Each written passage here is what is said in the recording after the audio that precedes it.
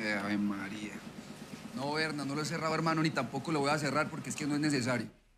Escúchame, Jaime. No, escúchame vos, amigo, huevón, ya va para el cuentico, pues. Yo ya hablé con Ricardo Prisco, ¿sí o no? El man está con nosotros, el man nos está apoyando, todo está firme, todo está bien. ¿Qué más queremos, mi hijo? Yo te dije que tenías que tener cuidado con esa gente, Jaime. Ve, parale bolas a lo que te voy a decir. Primero, estos manes están con nosotros desde que Pablo mató a Kiko, ¿sí o no? Segundo, Ya Ricardo sabe que serle leal a Pablo le significa un pepazo en la cabeza, hermano. Y tercero, y para que vos estés más tranquilo, nos van a enviar hombres, hermano, para la seguridad de todos. ¿Qué?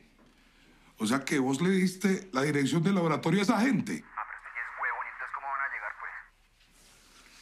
Jaime, escúchame. Salite de ahí ya. Andate y venite, pero ya. No, escúchame vos, Berna, ya para la coneja paranoia, hermano. ¡Venite ya! ¡Te largues ya! ¿Qué pasó, pues, Ricardo, huevón? Me estás cagando, marica. Ricardo, bajas a huevonada, hermano. Ricardo, bajas a huevonada. Pablo está debilitado, hermano. Lo sabes. Esta hijo de puta ciudad está llena de policías, muchachos. Pablo no se puede mover, hermano. Ricardo, bajas a huevonada.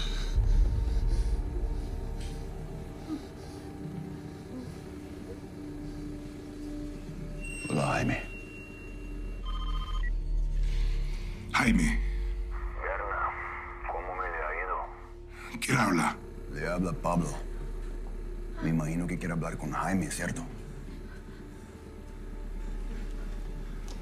Berna, ayúdame, huevón. Berna, huevón, habla con Pablo, explícale cómo son las maricadas, Berna. ¡Ayúdame! ¡Pablo, no, espérate!